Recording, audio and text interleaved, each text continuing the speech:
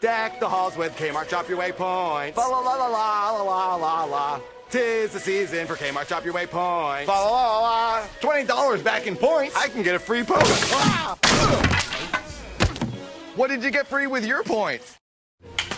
Excuse me, where'd you get that pogo stick? Well, I already had a bunch of points from shopping at Kmart, of course. Then, last week, I had a blind date, so I bought her an oven on Kmart.com. But she wasn't able to make it, so now I have two ovens and even more Shop Your Way points. Anyway, I had a backup date plan, but somehow she never showed up. I even bought her trousers and a tackle box and got more points. Then, with all my points, I got this pogo stick for free.